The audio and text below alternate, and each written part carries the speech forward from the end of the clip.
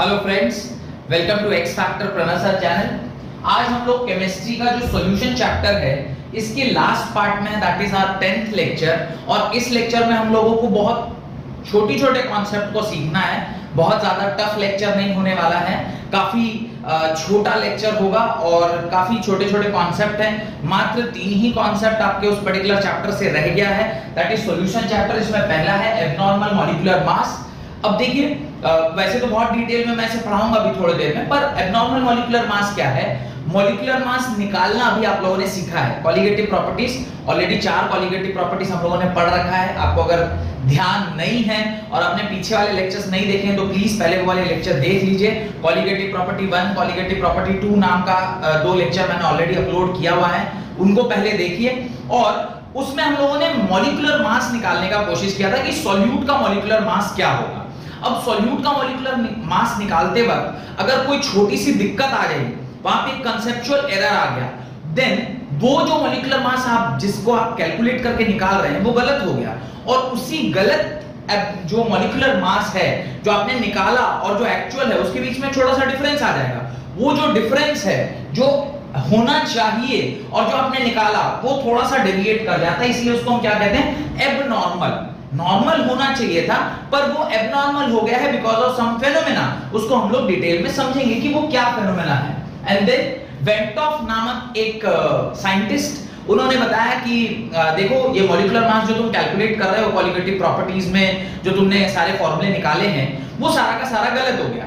अब गलत हो गया तो कैसे सही किया जाए? तो वेंटॉफ नामक जो साइंटिस्ट थे, उन्होंने वेंटॉफ फैक्टर निकाला, जिसको हम लोग आई से डिनोट करते हैं। उन्होंने कहा कि देखो वेंटॉफ फैक्टर जो मैं बता रहा हूँ, इससे अगर तुम जो भी फॉर्मूला निकाले हो क्वालिटेटिव प्रॉपर्टीज़ की, चाहे वो रिलेटिव लोअरिंग हो, या फिर डिप्रेशन हो, या फिर एलिवेशन हो, या फिर ऑस्मेटिक प्रेशर या ऑस्मोसिस वाला जो कॉन्सेप्ट है किसी भी फॉर्मूले में जो भी तुमने निकाला है, उसमें अगर मेरे फैक्टर को तुम इंक्लूड कर लोगे तो फिर वो फॉर्मूला क्या हो जाएगा? सही हो जाएगा। तो वो हम लोग देखेंगे कि कैसे वेट ऑफ़ फैक्टर को हम लोग वहाँ यूज़ करते हैं और उसके बेसिस पे modified form of qualitative properties नया फॉर्मूला हम लोग लिखेंगे, जो कि modified form of qualitative properties होगा। इतना पढ़ने के बाद आज आपका चैप्टर कंप्लीट हो जाएगा। This is my 10th lecture तो ऑलरेडी नौ लेक्चर आपके इस पर्टिकुलर चैप्टर के बने हुए हैं। पूरा का पूरा सॉल्यूशन अगर आपको समझना है तो ये दसों लेक्चर को प्लीज़ एक बार चेक करिए।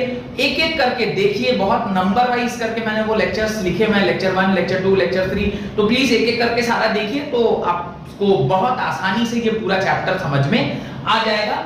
एंड उसके बाद एक छोटा सा ये असाइनमेंट मैं आपको दे रहा हूँ। ये असाइनमेंट हर बच्चे को करना है, जो भी ये वीडियो देख रहा है। अगर आप मेरे रेगुलर स्टूडेंट हैं तो आपको तो करना ही करना है।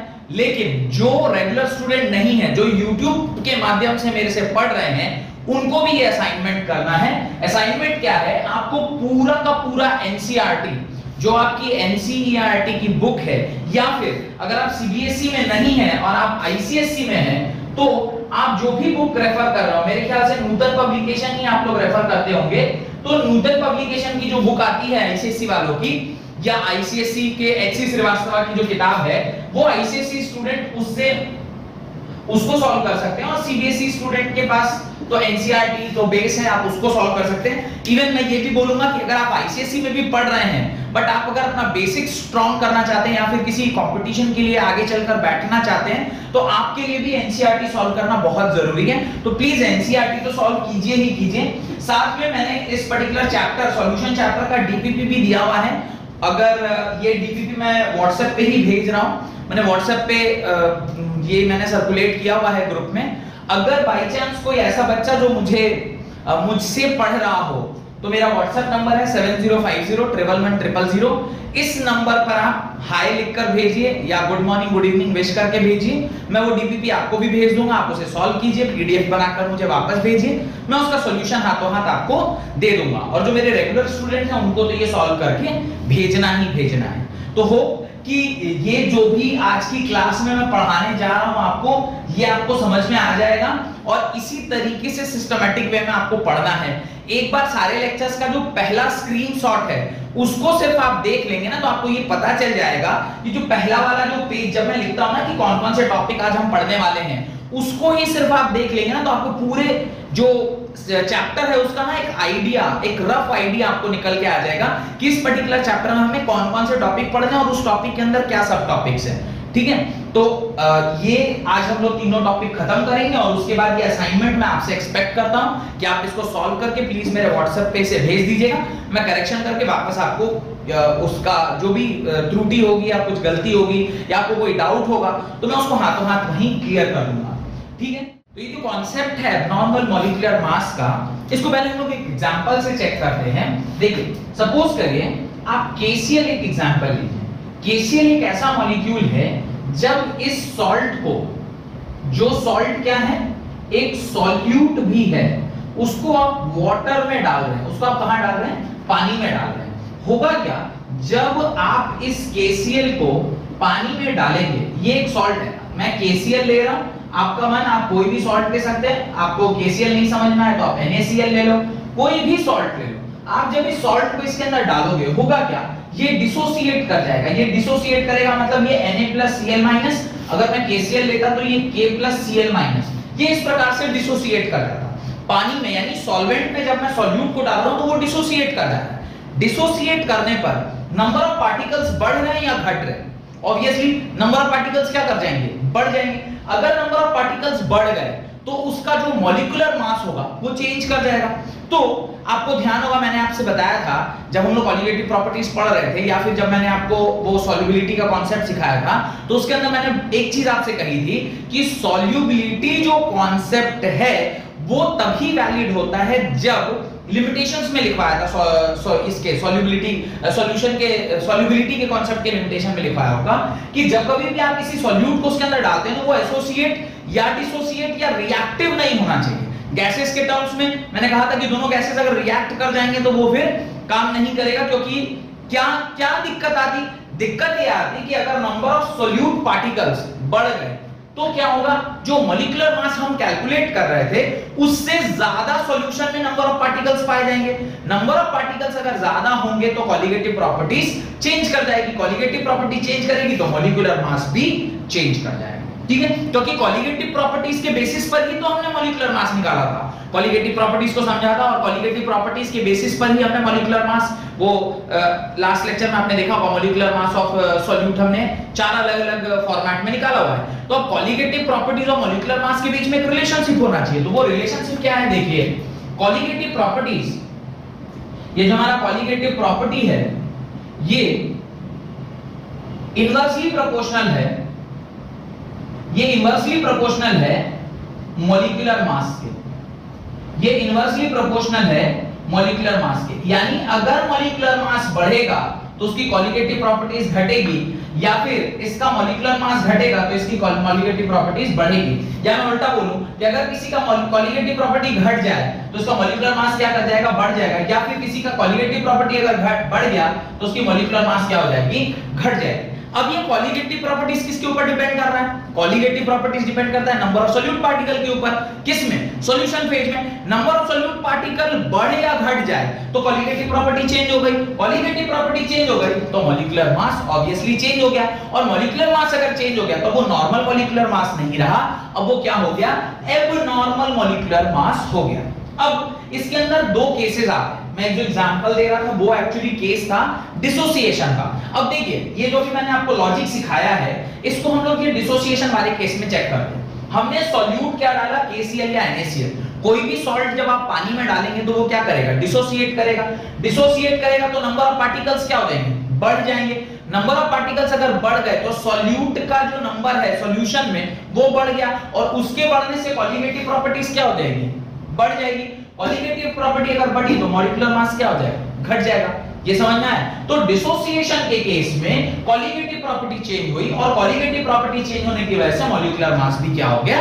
चेंज हो गया। अब एक दूसरा एग्जांपल और आपको देता हूँ। सेम वाटर में this time what we are doing this time we are adding ऐसा एक सब्सटेंस ऐड कर रहे हैं जो कि एसोसिएट कर जाए जैसे सपोज़ करिए मैं दूसरा एग्जांपल लेता हूँ। इस एग्जांपल में जो सॉल्वेंट है वो मैंने क्या रखा है?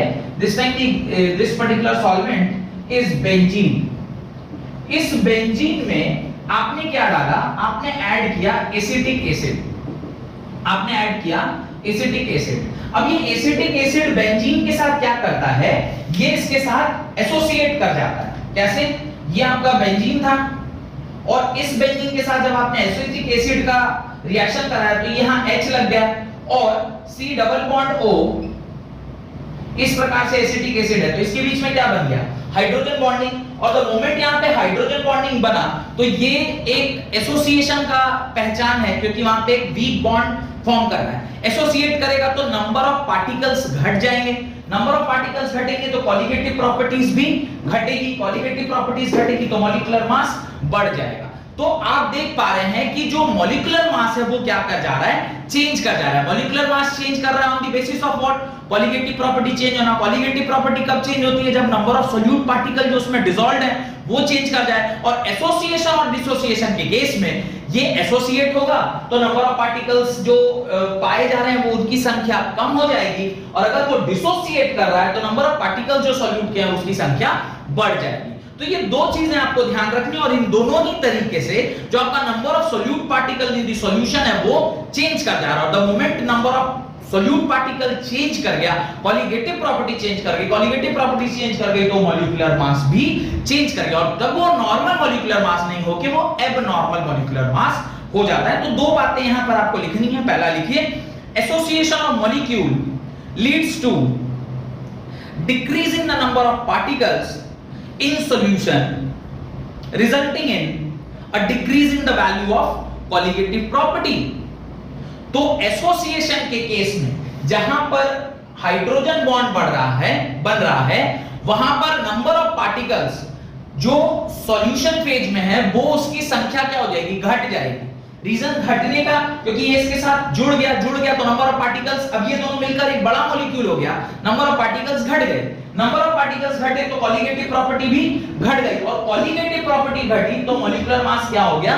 बढ़ गया because colligative property and molecular mass are inversely proportional done therefore colligative property are inversely related to molecular mass of compound therefore higher value is obtained for molecular mass than normal value higher value is obtained for molecular mass than normal value done second लिखिए second point dissociation of molecule leads to increase in the number of particles dissociation will lead to increase in the number of particles obvious है? Chlorine और potassium या chlorine और sodium अगर water में डाल दिए जाए तो सोडियम का एक अलग सोडियम आयन एक अलग होगा क्लोरीन आयन एक अलग होगा तो नंबर ऑफ़ पार्टिकल्स चेंज कर देंगे because one mole of NaCl will give two moles of ion तो दो मोल्स ऑफ़ आयन मिल रहे हैं नंबर ऑफ़ पार्टिकल्स बढ़ रहे हैं। तो dissociation of molecule leads to increase in the number of particles in solution resulting in an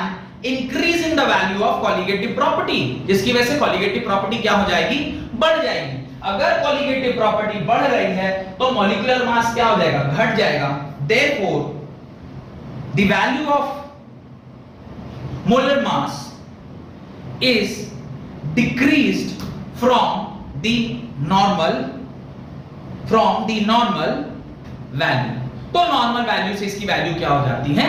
घट जाती है। तो हो एबनॉर्मल मॉलिक्यूलर मास का जो कॉन्सेप्ट है आइदर एसोसिएशन का और डिसोसिएशन का, वो कॉन्सेप्ट आपको समझ में आ गया कि एसोसिएशन हो रहा है तो क्या हो रहा है? डिसोसिएशन हो रहा है तो क्या हो रहा है? किस प्रकार से number of particles of solute जो आप बाहर से उसमें ऐड कर रहे हैं, उसकी संख्या चेंज कर जा रही है उसका नंबर चेंज कर जा रहा है। If you are adding something which is dissociative in nature जो डिसोसिएट कर सकता है तो नंबर ऑफ़ पार्टिकल्स बढ़ जाएँगे। नंबर ऑफ़ पार्टिकल्स बढ़ेंगे तो उसकी कॉलिगेटिव प्रॉपर्टीज़ इंक्रीज करेगी। और कॉलिगेटिव प्रॉपर्टीज़ इंक्रीज करेगी चूँकि कॉलिगेटिव प्रॉपर्टी मॉलिक्यूलर मास के इनवर्सली प्रोपोर्शनल है तो कॉलिगेटिव प्रॉपर्टी के बढ़ने से मॉलिकुलर मास डिक्रीज कर जाएगा। और नॉर्मल से अगर वो डिक्रीज कर गया तो वो एबनॉर्मल मॉलिकुलर मास हो गया। सिमिलरली जो दूसरा केस है, वो क्या है? एसोसिएशन का है, जहाँ पर चीज़ें एक दूसरे के साथ एसोसिएट कर रही है। एसोसिएट हो रहा है तो नंबर ऑफ़ पार्टिकल संख्या जो है, वो कम हो जा रही है। यानी नंबर ऑफ़ पार्टिकल्स कम हो जा रहे हैं। नंबर ऑफ़ पार्टिकल्स के कम होने से कॉलिगेटिव प्रॉपर्टी रिड्यूस कर रही है। यानी कॉलिगेटिव प्रॉपर्टी डिक्रीज कर रही है। कॉलिगेटिव प्रॉपर्टी का डिक्रीज करे तो करस्पॉन्डिंगली जो उसका मॉलिक्यूलर मास है, वो इंक्रीज करेगा। क्योंकि colligative property and molecular mass are inversely proportional molecular mass बढ़ रहा है तो जिसकी वजह से आपका जो मॉलिक्यूलर मास है, वो नॉर्मल मॉलिक्यूलर मास से कुछ अलग आया और उसीलिए हम उसको क्या बोलते हैं? एबनॉर्मल मॉलिक्यूलर मास और अल्टीमेटली सारे क्वालिटेटिव प्रॉपर्टीज़ जो आपने पढ़े हुए हैं, उसके अंदर आप मॉलिक्यूलर मास ही निकालना सीखते हैं, जो लास्ट में मैंने हर एक क्वालिटेटिव प्रॉपर्टीज़ के लास्ट में एक बॉक्स बनवाया था फार्मूला वाला वो ultimately that was the formula for molecular mass of the solute का फार्मूला हमने वहाँ निकाला था। तो वो नॉर्मल था। अभी ये कह रहे हैं कि अगर एसोसिएशन या डिसोसिएशन होगा तो वो एबनॉर्मल हो जाएगा। इस प्रॉब्लम को सॉल्व करने के लिए कि कोई कह रहा है ये फॉर्मूला होगा, कोई कह रहा नहीं, आप जो फॉर्मूला निकाले हैं वो तो जिस कॉन्सेप्ट पर निकाले, वो कॉन्सेप्ट ही वैलिड नहीं रहा। क्योंकि भाई जिस चीज़ को हम डाल रहे थे एज अ सॉल्यूट वो तो डिसोसिएट कर गया या वो तो एसोसिएट कर गया।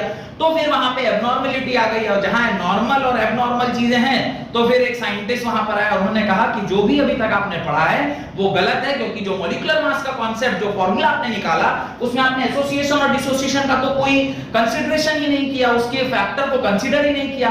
अगर आपने उसके फैक्टर को कंसीडर नहीं किया तो जो फार्मूला आपने निकाला, वो गलत है। अगर वो फार्मूला गलत है फिर सही क्या होगा? सही जानने के लिए वेंटॉफ नामक एक साइंटिस्ट आए, जिन्होंने बताया कि देखो, पहले मेरे फैक्टर को पढ़ो मैं एक साइंटिस्ट हूँ, मेरे फैक्टर को जैसे मैंने डिफाइन किया है, उसको जब तुम फॉर्मूले में इंकॉर्पोरेट कर लोगे, हर कॉलिगेटिव प्रॉपर्टी के मॉलिक्यूलर फॉर्मूले में तो जो फॉर्मूला बनेगा वो 100% करेक्ट रिज़ल्ट आएगा, जिसमें थ्योरेटिकल वैल्यू जो आप पेपर पेन पर निकाल रहे हैं और जो मिल रहा है लेबोरेटरी में, वो बिल्कुल सेम हो जाएगा। तो इसको समझने के लिए सबसे पहले हमें हेडिंग डालना चाहिए वेंट ऑफ़ फैक्टर जिसको हम लोग आई से डिनोट करते हैं तो हेडिंग डालिए। वेंट फैक्टर उसके नीचे लिखना स्टार्ट करिए। In 1818 van't Hoff introduced a factor I known as van't Hoff factor to account for the extent of association और डिसोसिएशन एसोसिएशन और डिसोसिएशन का जो एक्सटेंट है उस फैक्टर को कंसिडर करने के लिए वेंटॉफ ने एक फैक्टर दिया जिसको उन्होंने आई से डिनोट किया। उस फैक्टर को हम क्या बोलते हैं? वेंटॉफ फैक्टर बोलते हैं।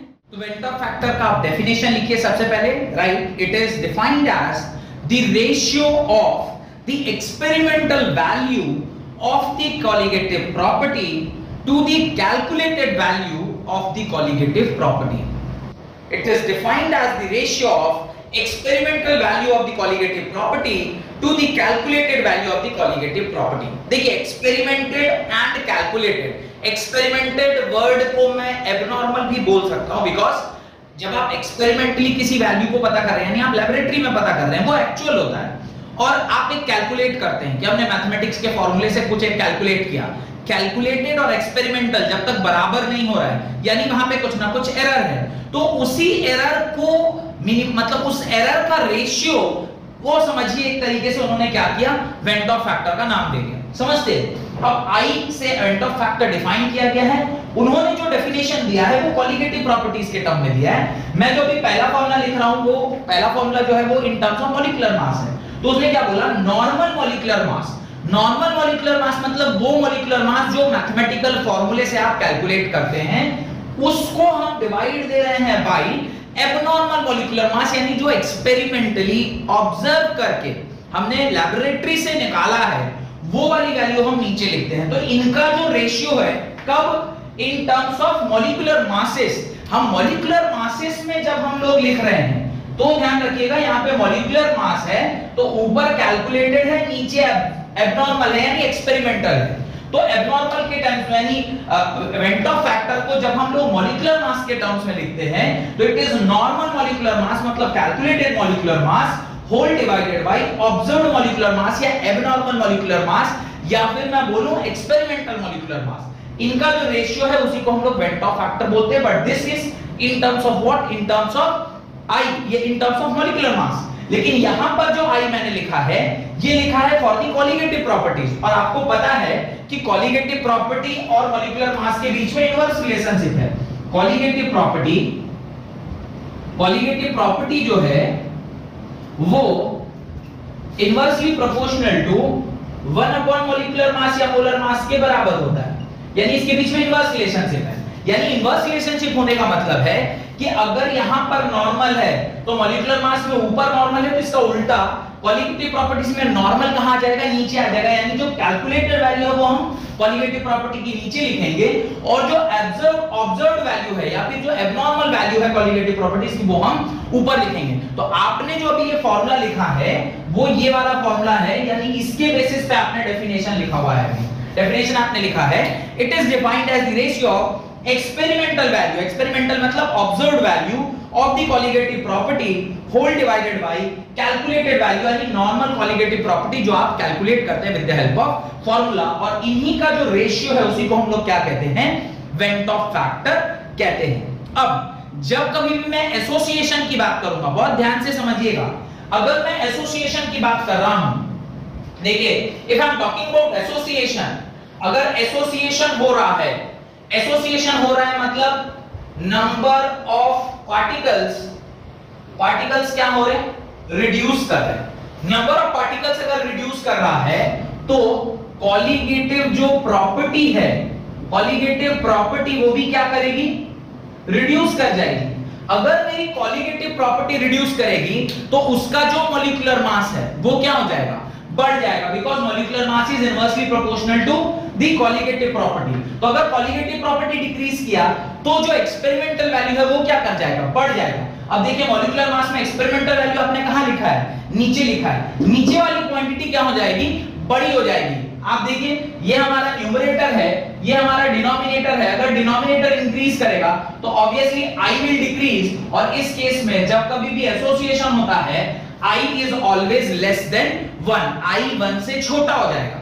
डन अब देखिए, जब हम लोग एसोसिएशन की जगह पर डिसोसिएशन की बात करते हैं तो मैं डिसोसिएशन यहाँ नीचे लिख देता हूँ। तो डिसोसिएशन की जब हम लोग बात करते हैं, उस केस में क्या होता है? नंबर ऑफ़ पार्टिकल्स इंक्रीज कर रहे नंबर ऑफ़ पार्टिकल क्या कर रहे हैं? इंक्रीज कर रहे हैं। तो नंबर ऑफ़ पार्टिकल्स इंक्रीज करेंगे। नंबर ऑफ़ पार्टिकल्स इंक्रीज करेंगे तो कॉलिगेटिव प्रॉपर्टी इंक्रीज करेगी। तो आप लिखोगे colligative property is also increasing colligative property अगर इंक्रीज करेगी तो इनडायरेक्टली दी जो मॉलिक्यूलर मास होगा वो क्या कर जाएगा? रिड्यूस कर जाएगा। मॉलिक्यूलर मास कौन सा? एक्सपेरिमेंटल मॉलिक्यूलर मास या एब्जॉर्ब मॉलिक्यूलर मास क्या कर जाएगा? रिड्यूस कर जाएगा। अगर ये क्वांटिटी रिड्यूस करेगी तो न्यूमरेटर बाय डिनोमिनेटर में दिस क्वांटिटी अगर डिक्रीज कर जा रही है तो i के बारे में आप क्या कहेंगे? I will be greater than 1 तो in case of dissociation i is greater than 1 whereas in case of association the i will be less than 1 तो ये बात भी आप वहाँ लिख लें in association observed molecular mass being more than the normal so i has a value less than 1 i has a value less than 1. Second point, in dissociation, observed molecular mass has lesser value than normal, so i is more than 1. So, i is more than 1. ये आपका दूसरा topic भी यहाँ समाप्त हो गया। Moving to the third topic that is modified form of colligative property ये एक लास्ट कॉन्सेप्ट है। बहुत ही आसान सा कॉन्सेप्ट है। सिर्फ़ फॉर्मूला आपको ध्यान रखना है और आपका ये चैप्टर कंप्लीट हो जाएगा। तो अगला हेडिंग डालिए modified form of colligative property last concept आज की क्लास का that is modified form of colligative property modified modified form of colligative property means colligative property में जो हम लोगों ने फॉर्मूला पढ़ा था, उसके अंदर अल्टीमेटली हम लोगों ने मॉलिक्यूलर मास निकाला था। तो कॉलिगेटिव प्रॉपर्टीज़ भी हमने देखा हुआ था पॉलिगेटिव प्रॉपर्टीज़ का फॉर्मूला हमने देखा था। जैसे पहला जो था वो relative lowering of vapour pressure तो relative lowering of vapour pressure का फॉर्मूला हमने क्या पढ़ा था? Delta P by P naught is I times the sorry is equal to mole fraction of solute पर अभी क्या है? सिर्फ़ मोल फ्रैक्शन ऑफ़ सोल्यूट ना लिख के उसके आगे हम लोग को क्या मल्टीप्लाई कर देना है? एक एक्स्ट्रा आई जो कि वेंटॉफ ने इंट्रोड्यूस किया कि आप मेरे फॉर्मूले में, जो आपका ओरिजिनल फॉर्मूला था, उसको सिर्फ़ आप क्या करो, मेरे फैक्टर से मल्टीप्लाई कर दो और मेरा काम और आपका काम कंप्लीट हो जाएगा। तो अभी जो ओरिजिनल फॉर्मूला था, वो था delta P by P naught is equal to mole fraction of solute ये आपका एक्चुअल फॉर्मूला है। उसने बोला, इस फॉर्मूले में सिर्फ़ आप क्या कर दो? I से मल्टीप्लाई कर दो। I means van't Hoff factor जो कि एबनॉर्मल मॉलिक्यूलर मास का फैक्टर था। उससे आपने मल्टीप्लाई किया।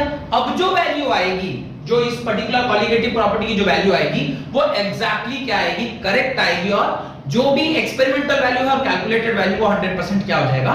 सेम हो जाएगा। तो अब ये फॉर्मूला x ऑफ़ सॉल्यूट को हम लोग क्या लिख सकते हैं? Moles of solute by moles of solution plus solute ये चूँकि डाइल्यूट सॉल्यूशन था तो ये ज़ीरो हो रहा था तो आपका फॉर्मूला आ जाता delta p by p naught is equal to i times n2 by n1 तो ये दोनों ही फॉर्मूला आप यूज़ कर सकते हैं। ये वो फॉर्मूला है जो आप modified form of colligative properties का पहला relative lowering of vapour pressure में यूज़ करेंगे। Second elevation of boiling point आपने फार्मूला पढ़ा था delta DB is equal to Kb into molality पर यहाँ पर भी सिर्फ़ एक आई से आपको क्या करना है, इसको मल्टीप्लाई कर देना और इसके बाद जब आप कॉलिगेटिव प्रॉपर्टी कैलकुलेट करेंगे तो वो एग्जैक्टली करेक्ट आएगा। Similarly depression in freezing point में भी आपको क्या करना है delta TF is equal to I times KF into molality ये ऑलरेडी आप लोग सारा कुछ किए हुए हैं। सिर्फ़ ध्यान रखिएगा, यहाँ पर ये जो वेंट ऑफ़ फैक्टर है, उसको ही हमने क्या किया है मल्टीप्लाई कर दिया। ध्यान से देखिएगा तो फॉर्मूले में सिर्फ़ वेंट ऑफ़ फैक्टर मल्टीप्लाई हो गया है। अब ये last osmotic pressure pi is equal to CRT हम लोगों ने पढ़ा था। उसके आगे सिर्फ़ आप आई से मल्टीप्लाई कर दीजिए, आपका काम बन जाएगा। इस प्रकार से ये जो कॉलिगेटिव प्रॉपर्टीज़ आपने पढ़ी है, उसका मॉडिफाइड फॉर्म सिर्फ़ इतना ही कहता है कि जो भी फॉर्मूला आपने पढ़ा हुआ है, उसको सिर्फ़ वेंट ऑफ़ फैक्टर से क्या करना है? मल्टीप्लाई कर देना और आपका काम निकल जाएगा। और वेंट ऑफ़ फैक्टर कैसे कैलकुलेट करना है, ये अभी लास्ट टॉपिक में मैंने आपको समझाया कि वेंट ऑफ़ फैक्टर कैसे कैलकुलेट किया जाता है। एक तो कैलकुलेटेड वैल्यू जो आप कैलकुलेट करते हैं, एक एक्सपेरिमेंटल वैल्यू जो आपको क्वेश्चन में दिया रहेगा। इन दोनों का रेशियो निकाल लीजिएगा आपको। आई की वैल्यू निकल के आ जाएगा और जिस भी क्वेश्चन में आपको इसको यूज़ करना होगा, बड़ी आसानी से यूज़ कर सकते हैं। पूरा का पूरा जो चैप्टर है, वो आपका कंप्लीट हो गया। अभी कुछ भी बचा हुआ नहीं है। असाइनमेंट के रूप में जो मैंने कहा था, उसको आपको कंप्लीट करना है। होप कि मेरे वीडियोस आपको अच्छे लग रहे हैं, समझ में आ रहा है। अगर ऐसा हो रहा है तो प्लीज़ मेरे सेशन को लाइक करिए। ज़्यादा ज़्यादा इस लेक्चर को शेयर करिए। और अगर मेरे चैनल पर नए हैं तो प्लीज़ इसे सब्सक्राइब करिए सो दैट कि कोई भी नई वीडियो मैं डालूं तो वो आप तक डायरेक्टली पहुँच जाए। बहुत बहुत धन्यवाद।